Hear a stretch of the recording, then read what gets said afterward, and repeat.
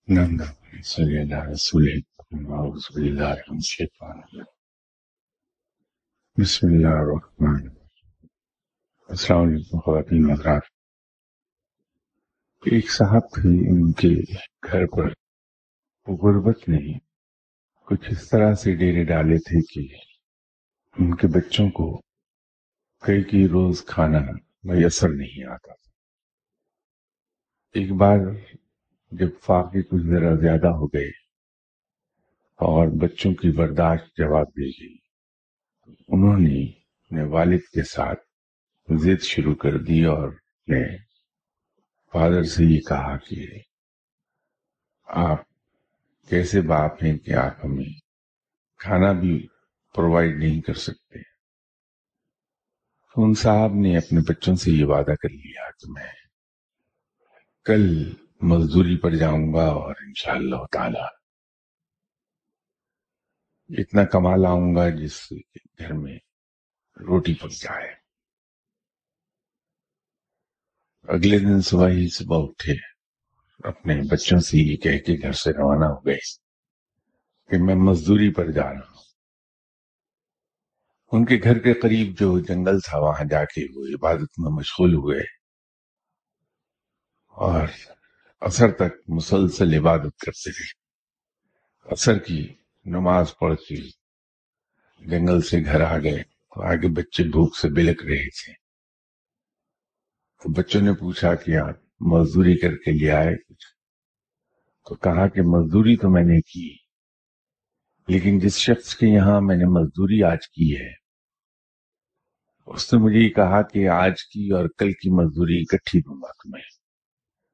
मैं कल फिर उसी शख्स के यहाँ जाके मजदूरी करूँगा और कल इंशाअल्लाह ताला दोनों रोज की मजदूरी है, वो मुझे मिल जाएगी और उससे घर का खर्च कुछ चल निकलेगा। अगले दिन सुबह फिर उठे और जाके गुजरे हुए कल की तरह फिर उसी जंगल में उसी जगह पर जाकर इबादत शुरू कर दी। तो असर के वक्त रब ताला ने हुक्म दिया, अपने फरिश्ते को कि इस शख्स के घर पर चले जाओ और ये दो किलो आटा, उसके साथ ये दूसरी चीज़ें और दो हज़ार अशरफिया जन्नत से ले जाओ और जाके इस शख्स के घर पर इसके बच्चों को दे दो। तो उस फरिश्ते ने अल्लाह ताला की हुक्म की, तामील की और वो तमाम सामान और दो हज़ार अशरफियाँ जो रब ने हुक्म दिया था देने की, वो उसके बच्चों के हवाले कर दी और कहा कि तुम्हारे वालिद को थोड़ी मजदूरी में देर हो गई है तो तुम्हारे वालिद ने ये अपने गुजरे हुए कल की और आज की मजदूरी तुम्हें भेज दी है कि घर में खाना पक जाए। ये साहब अपनी इबादत में मसरूफ थे और असर के बाद जब फिर घर आए, घर आके देखा कि घर में रौनक है, खुशी है बच्चों के चेहरे पर और चूल्हा गर्म है। पूछा कि क्या माजरा है तो बच्चों ने कहा कि आप ही ने तो इस आदमी को भेजा था। ये सब कुछ देखे तो ये तमाम किस्सा जब हज़रत बाबा फरीद बिन शकर अलैह साहब ने अपने मुरीदों के सामने बयान किया तो उसके बाद कुछ देर तवक्कुफ फरमा के लोगों को मुखातिब किया और फरमाया कि वो लोग जो रिस्क के पीछे भागते हैं, दुनिया के पीछे भागते हैं, माल दुनिया हमेशा उनसे गुरेजा रहता है, उनसे बहुत दूर भागता है माल दुनिया। और वो लोग जो अल्लाह से लौ लगा लेते हैं और माल दुनिया से मुँह मोड़ लेते हैं तो माल दुनिया बस शौक उस इंसान के पीछे पीछे घूमती है। और ये बात दुरुस्त है। ये होते देखा है हमने। फ़र्क सिर्फ़ इतना है कि इंसान चूँकि बेसबरा है, कुरान का फैसला है ये, रब ने फरमाया। हम उस हद तक सब्र कर नहीं पाते जहाँ ये पॉइंट आ जाए कि हम इस बात को क्वालिफाई कर लें कि वाकई ही सच्चे दिल से हम रब के हो गए हैं। ये जो पॉइंट है कि जहाँ ये मुस्तनद हो जाए कि इंसान ना तो रियाकारी में है, न दिखावे में है बल्कि महज और महज रब की खशनूदी के लिए। रब को अपना रब मानकर उससे लॉ लगाए हुए है। जब ये चीज़ मुस्तनद हो जाती है और इन, इंसान इस राह में आने वाले इन तमाम टेस्ट और इम्तहानों से, आजमाइशों से गुजर जाता है तो फिर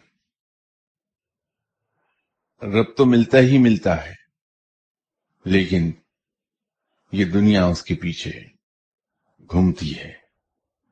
ये और बात है कि उस वक्त तक उस इंसान का ये आलम हो चुका होता है कि जनाब हसन रहमतुल्लाह अलैह, मैं वे सफ़र रहे बहुत, नतीजा ही हुआ कि उनकी मूछें भी बहुत बढ़ गई।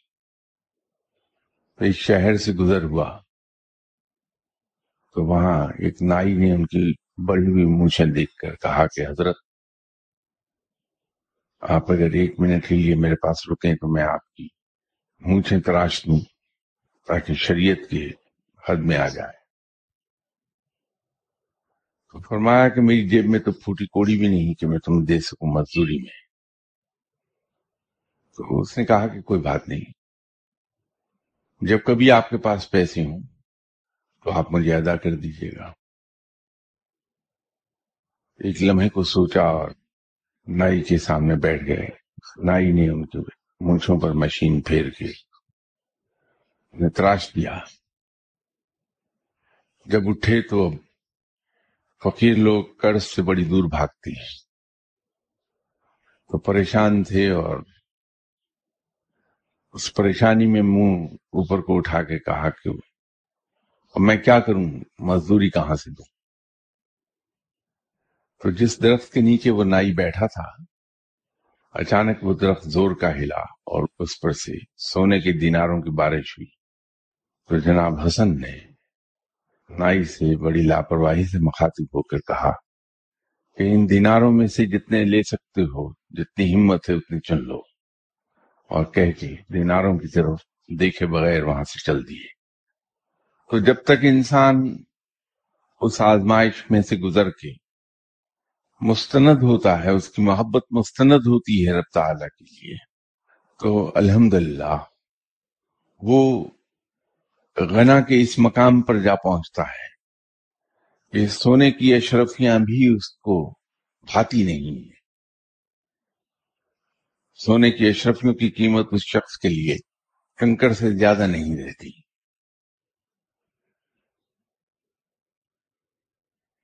गालबिन, कुछ इतवार पहले यहाँ गुफ्तु में मैंने ये कर्ज की थी कि रिस्क चार किस्म का होता है।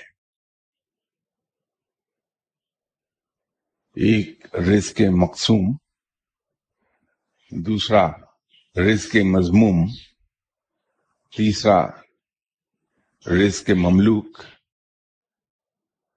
और चौथा रिस्क मऊद। रिस्क मकसूम तो आप जानते हैं वो है जो तकदीर में लिख दिया गया।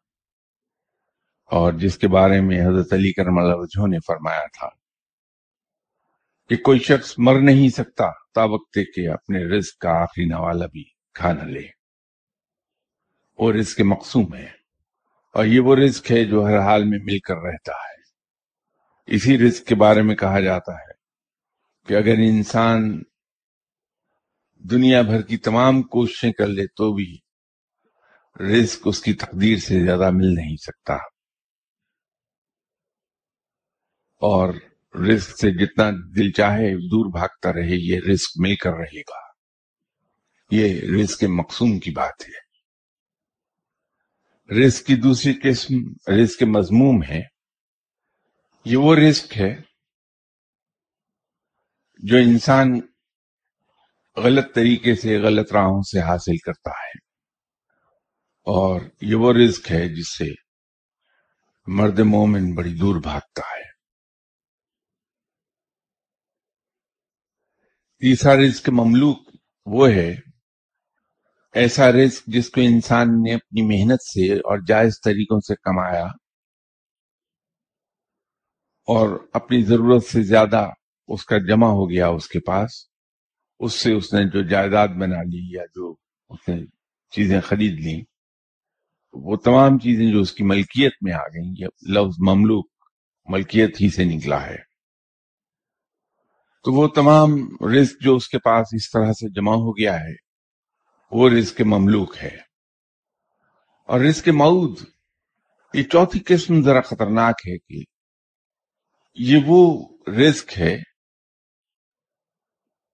जिसका ये वादा कर लिया गया कि मैं पत्थर में बंद कीड़े को भी रिस्क अता करता हूँ।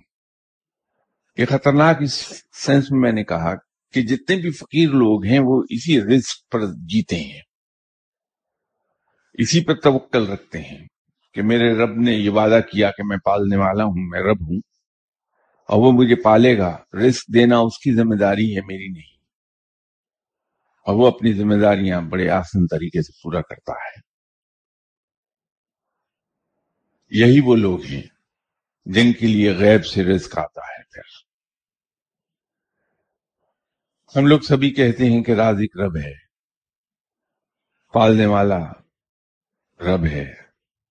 मैं भी यही कहता रहता हूँ कि मेरा रिस्क किसी के कंट्रोल में नहीं है, सिर्फ़ मेरे रब के कंट्रोल में है।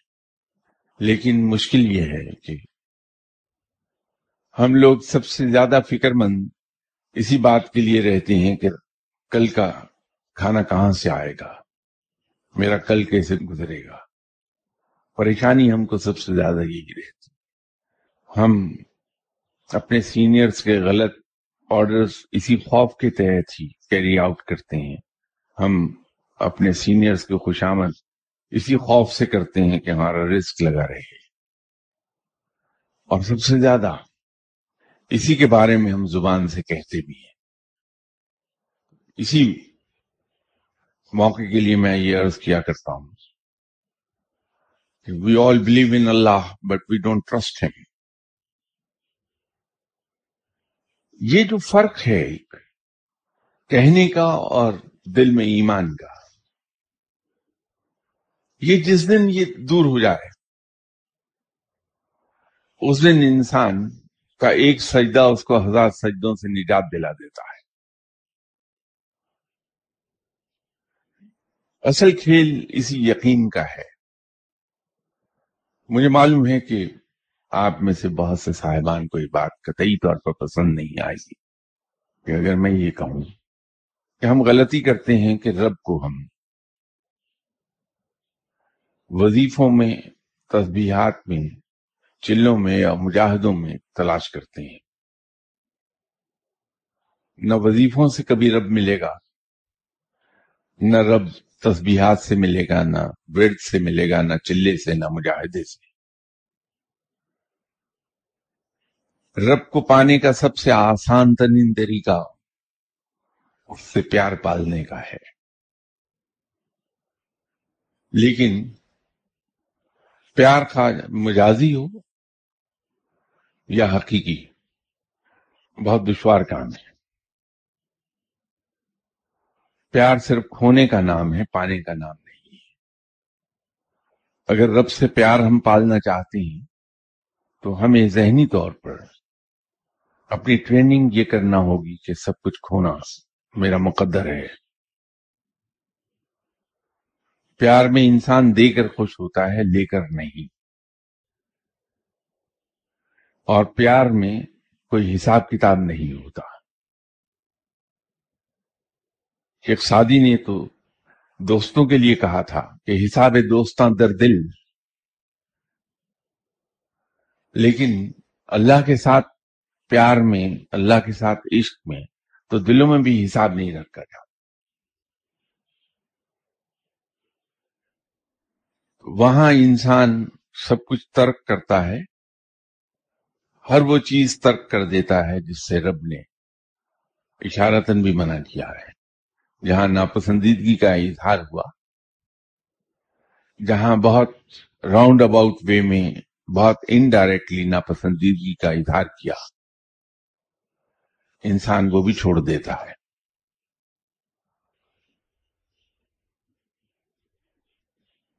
ऐसे लोगों से मेरी मुलाकात हुई ज़िंदगी में।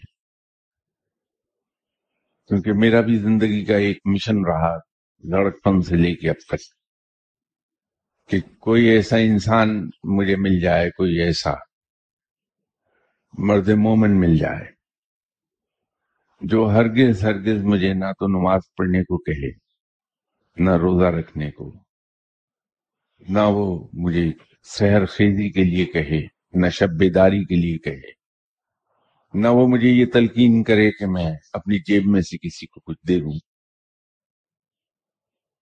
वो सिर्फ़ मुझे कोई ऐसी तस्वीर बता दे, जो तादाद में भी ज़्यादा ना हो। तो यूँ ही मैं दो चार मिनट अपने बाल बनाता बनाता जो अक्सर पे रही नहीं। बाल बनाने में मैं पढ़ लूँ और उसके बाद में सारा दिन अपने दिल पसंद मशागल में गुजारूं, लेकिन रब मिल जाए मुझे। यह आज तक तलाश जारी है। लेकिन इस तलाश का एक फ़ायदा ज़रूर हुआ कि मुझे ऐसे बहुत से हजरात मिल गए, जो 35 35 40 40 साल से मुजाहिदे कर रहे थे, चिल्ले काट रहे थे। और लाखों की तादाद में हर रोज ज़िक्र अजकार करते थे। लेकिन रब नहीं उन्हें मिला। जब वो मेरे करीब आए, उनसे मैंने बात बात की तो मैंने उनसे पूछा कि, भाई, तुम तो अब तक बड़े अल्लाह वाले बन गए होगे, और तुम्हारी रसाई तो सिदरत तुम इंतहा तक हो गई होगी, जो जिस रफ्तार से इबादत कर तो पता चला कि वो पारसाई तो उन्हें मिल गई है, इबादत के नतीजे में। रब ने ये तो करम नवाजी फरमाई कि वो पारसाई तो उनमें आ गई।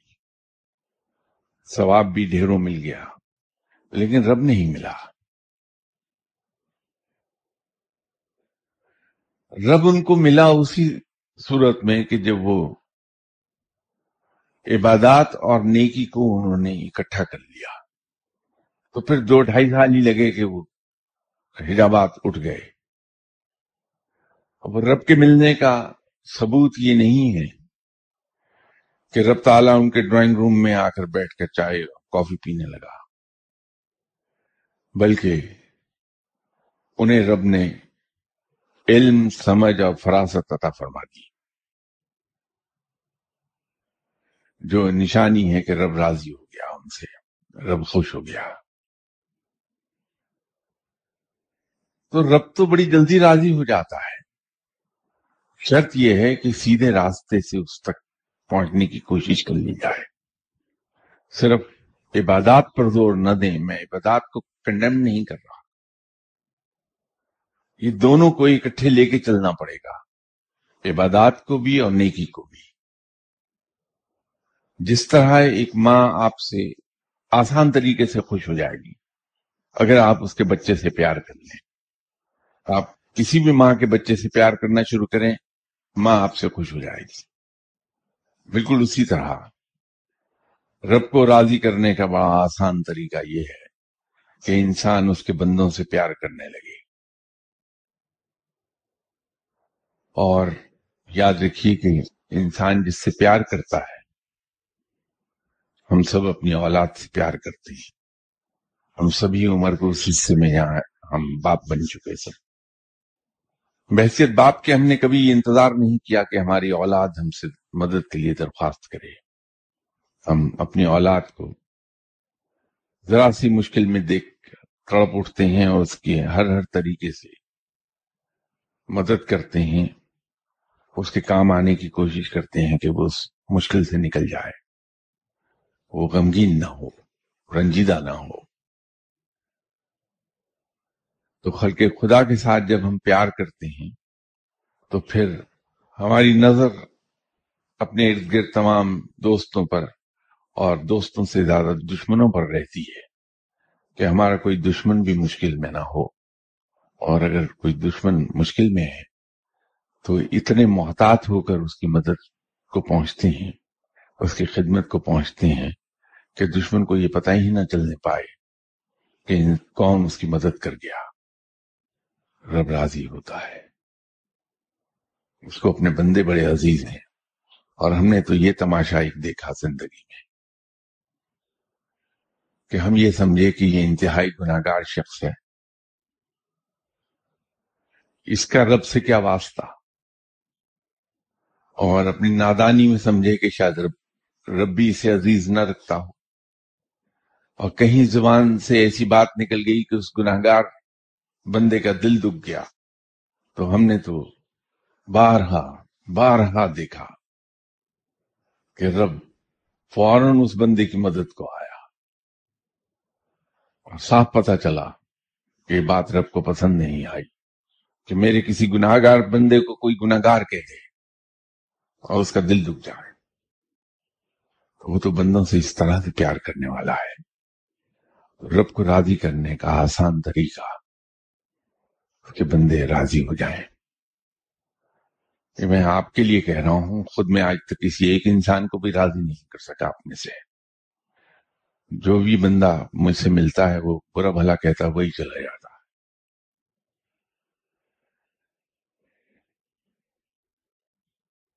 इसमें आदम अगर कहीं से आपको पता चल भी जाए जिसके इम्कान तकरीबन ज़ीरो हैं तब भी मैं एक चीज़ से वार्न कर दूँ आपको कि कराम जब एक खास मकाम पर पहुँचते हैं तो उनके इल्म में होते हैं इसमें आज़म। और ये भी सच है कि इसमें आज़म पढ़ने के बाद जो दुआ की जाए, रब ताला वो काम कर देता है।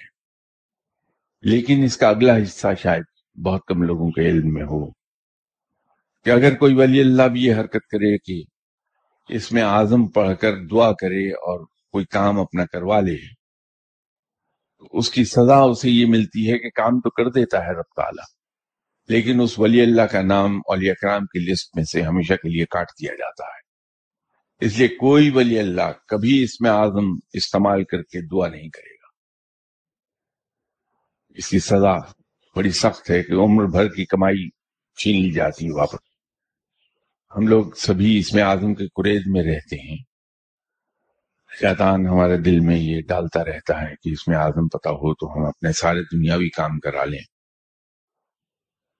हम एक चीज़ अपनी गर्ज की दीवानगी में भूल जाते हैं कि हम सब इंसान हैं, हमारा इल्म भी नाकिस, अकल भी नाकिस, हमारी निगाह भी नाकिस, एक हद से आगे नहीं जाती है। हमें नहीं मालूम कि कौन सी चीज़ हमारे लिए फ़ायदेमंद है, कौन सी नुकसान है। इसमें एक, मैं वाक्य कोट कर दूँ, लेकिन खुदा के लिए ये मत समझिएगा, उससे खुद नुमाई मकसद है, ऐसा नहीं, बिल्कुल। कतई तौर पर ऐसा नहीं। एक साहब तशीफ लाते रहते थे मेरे पास, और जब भी आते थे उनकी एक जिद होती थी कि अल्लाह ताला मुझे गाड़ी दे दे। और मैं हमेशा उनसे एक बात कहता रहता था कि आप ये जिद क्यों करते हैं? आपने दुआ कर दी। अपने ख्वाहिश का इजहार अपने रब पर कर दिया आपने। वो इतना रहीम और करीम है कि अपने बंदों की तमाम ख्वाहिशात को पूरा कर देता है। बशर्ते उसके मफाद में हो। तो अगर इतने साल बीत गए आपको एक ही दुआ करते हुए और मुख्तलिफ़ लोगों से दुआ कराते हुए अगर आपको कार नहीं मिल पाई है तो आप ये समझ लीजिए कि ये आपके मफाद में नहीं है और ये दुआ बंद कर दीजिए। तो अल्लाह से यूँ कहना शुरू कर दीजिए कि अल्लाह, तू जो मेरे लिए बेहतरीन तस्वुर करता है, वो मुझे अता फरमा दे।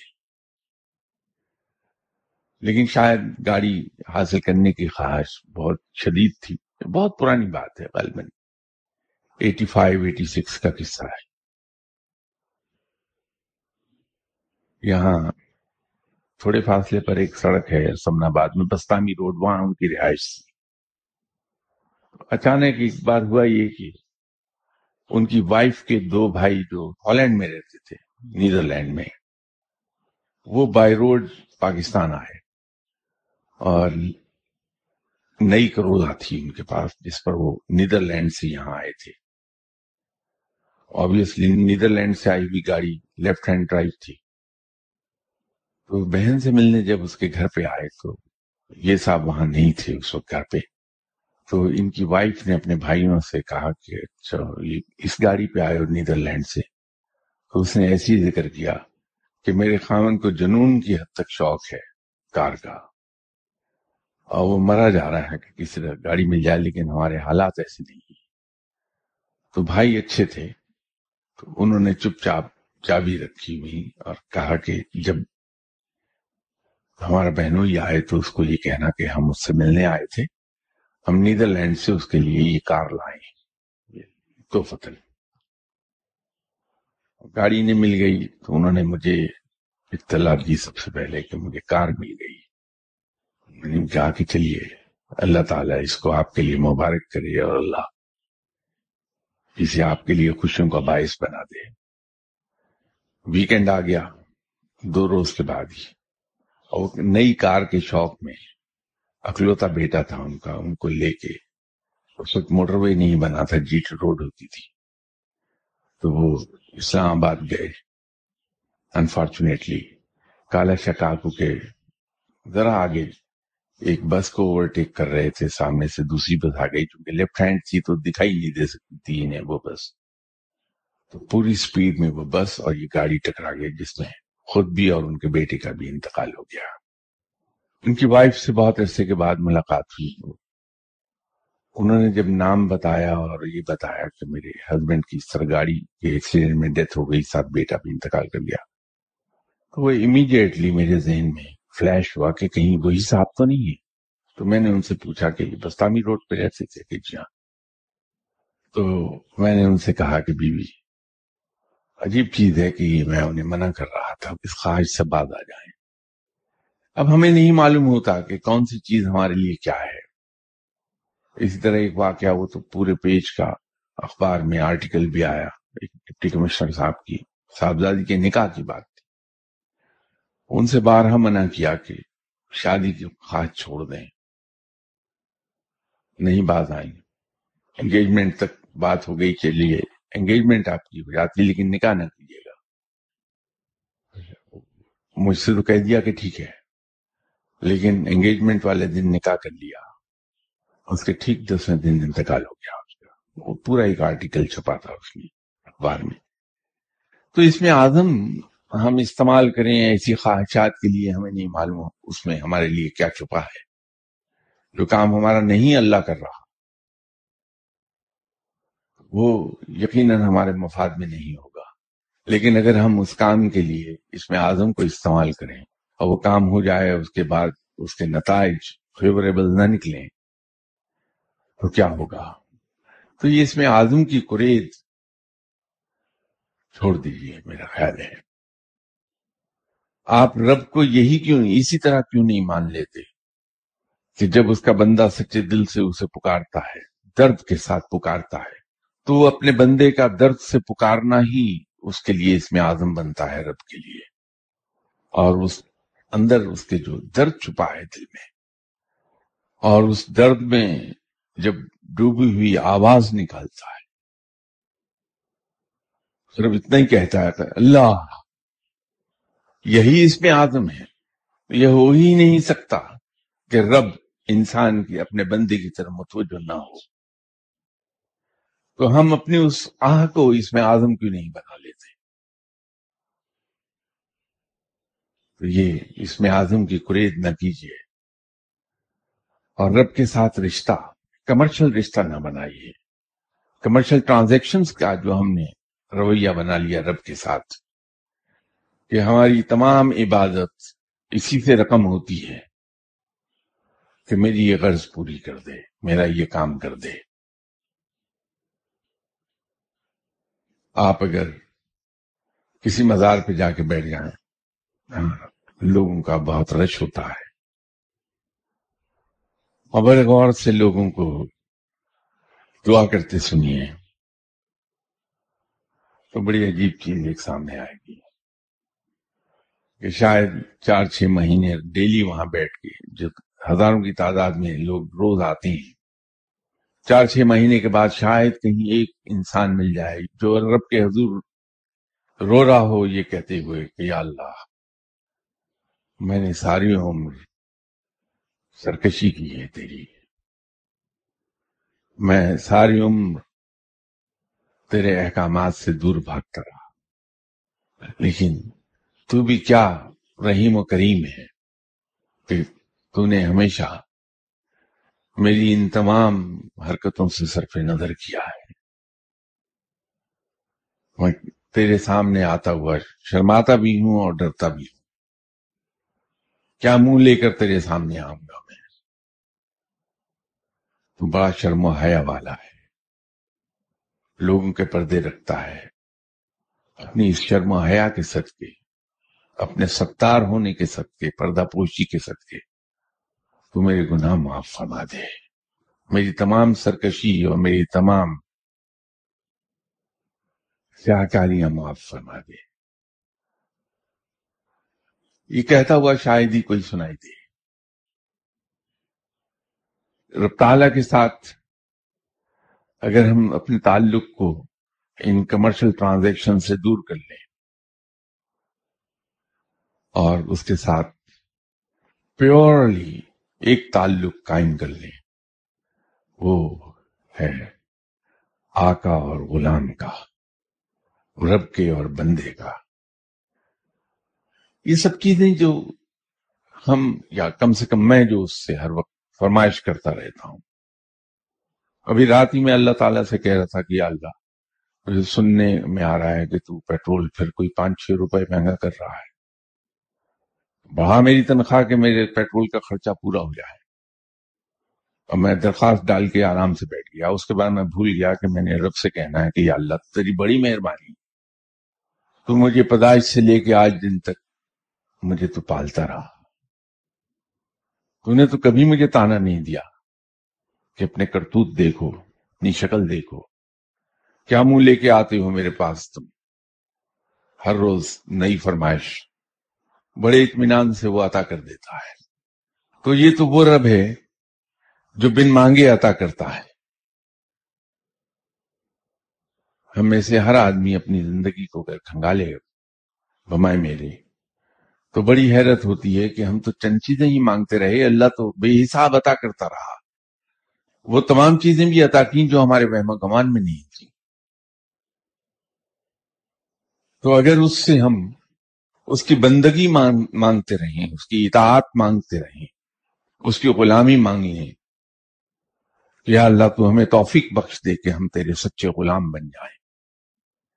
या अल्लाह तू हमें तौफीक बख्श कि हम तेरी सच्ची बंदगी कर पाए। या अल्लाह तू हमें तौफीक बख्श दे कि कभी हम तुझे अपना रब समझ के तेरी इबादत कर लें। तो भी उसने तो वादा किया, बल्कि दावा भी किया कि मैं रब हूँ। पालने वाला हूँ मैं। तो पालना सिर्फ़ रोटी और पानी को तो नहीं कहते। वो तो तमाम जरूरियात जो हमारे इल्म में है, वो भी और जो हमारे इल्म में नहीं, वो भी। उनको देने का वादा किए हुए है, पालने का वादा किया है। ये लफ्ज पालना बड़ा वसील लफ्ज है। बड़ी वसत है। तो जो उसने वादा कर लिया तो हमारा ईमान ये है कि हमारा रब अपने वादे का बड़ा सच्चा है। अपने वादे के खिलाफ नहीं करता। हर नमाज़ के बाद हम ये कहते हैं दुआ में कि तू अपने वादे के खिलाफ कभी नहीं करता। तो जो अपने वादे का इतना सच्चा है, क्या हमें उसके वादे पर ईमान नहीं? कि हम उससे वो मांगते हैं जिसका वो वादा कर चुका? तो रब से ये कमर्शियल ट्रांजैक्शन वाला ताल्लुक तोड़कर उसके साथ रब और बंदे का ताल्लुक कायम कर लें, आका और गुलाम का कर लें। और गुलाम, जिस आका का गुलाम होता है, गुलाम की तमाम जरूरियात पूरी करना आका की ज़िम्मेदारी बन जाती है। तो हम शायद इन चीज़ों से बहुत दूर चले जाएँगे। और फिर जो हमारे चेहरे पर एक ऐसा इत्मीनान झलकेगा, जो सिर्फ़ अलिया कराम के चेहरे पर होता है। वहाँ टेंशन कभी नहीं देखेंगे किसी वली अल्लाह के चेहरे पर टेंशन नहीं आती।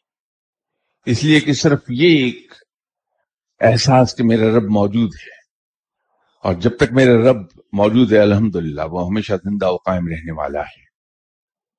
मुझे क्या फ़िक्र है? मेरा रब मौजूद है, वो खुद मुझे पालेगा, मेरी निगहदाश्त करेगा, मेरी देखभाल करेगा, मेरी हिफाजत करेगा।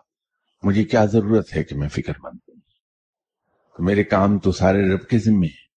तो जब ये सच्चे दिल से वो सोच लेता है तो उसके चेहरे पर हर वक्त इतमान रहता है।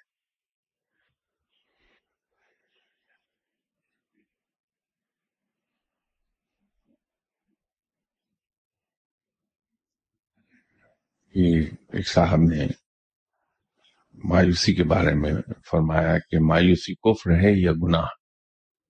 तो बाज़ात इंसान की ना पूरी होने वाली ख्वाहिशात, दुआएँ, हाजात इंसान को मायूस कर देती हैं। मायूसी एक सोच या कैफियत का नाम है। इंसान मायूसी से किस तरह निकल सकता है? मैं अभी इसी की बात कर रहा था।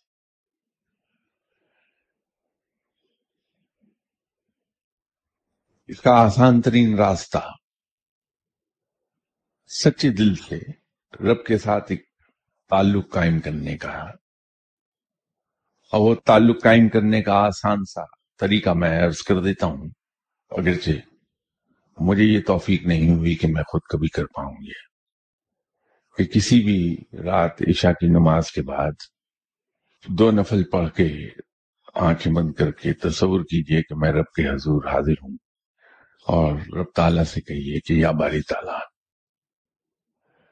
आज से मैंने अपना आप, अपने औलाद, अपने डिपेंडेंट्स अपने मामलात सब तेरे स्पुर्द कर दिए, मेरा इससे कोई ताल्लुक नहीं। इस यकीन के साथ कि तू इन्हें मेरे बेहतरीन मफाद में तय करेगा। ये तमाम मसाइल और तमाम परेशानियाँ एक गठरी में बांधिए और अल्लाह की झोली में डाल दीजिए, ये कह के। और उसके बाद फिर इससे बिल्कुल लाताल्लुक हो जाइए कि मेरे मसाइल क्या हैं। हम सिर्फ़ अपनी ड्यूटी पूरी करते रहें। जो अल्लाह ने हम पे फ़र्ज़ किया है, हम उसको पूरा कर लें कि हम अपनी मकदूर भर कोशिश करते रहें। अपनी तरफ़ से जान तोड़, मेहनत और कोशिश कर लें। और कोशिश करने के बाद चीज़ों को भुला दें और बैठे सीटी बजाते रहिए मज़े से। जो रब अता कर दे, इसको खुश दिली से कबूल कर लीजिए, हँसते रहिए, कहका लगाइए। और जितनी बड़ी दिक्कत और मुश्किल और परेशानी आए, उतना बड़ा कहका लगाइए, एक तरफ़ हो जाइए। इसलिए कि मेरा तो प्रॉब्लम ही नहीं प्रॉब्लम रब का है, मैं तो उसके हवाले कर चुका तो मायूसी तो मायूसी डिप्रेशन भी कभी करीब से नहीं गुजरेगा आपके। रंजीदगी कभी करीब से नहीं गुजरेगी, कोई गम आपके करीब से नहीं गुजरेगा। लेकिन ये ताल्लुक दयानत पर मबनी होना चाहिए ये मेरे वाला काम ना कीजिएगा। जो मैंने शायद यहाँ अर्ज़ किया था वो जो सिंगापुर में दो दोस्त थे, एक हिंदू और एक मुसलमान।